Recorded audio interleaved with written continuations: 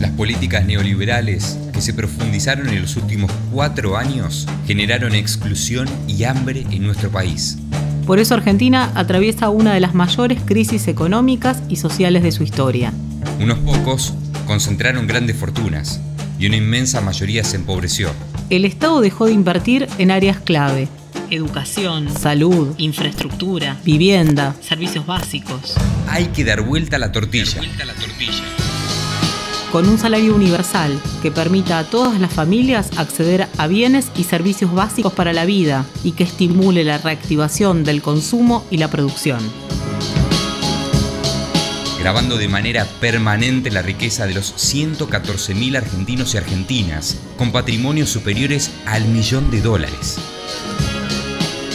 suspendiendo el pago e investigando la deuda, Pero también es necesario un Estado presente que garantice el desarrollo productivo y el acceso a una alimentación saludable y a precio justo.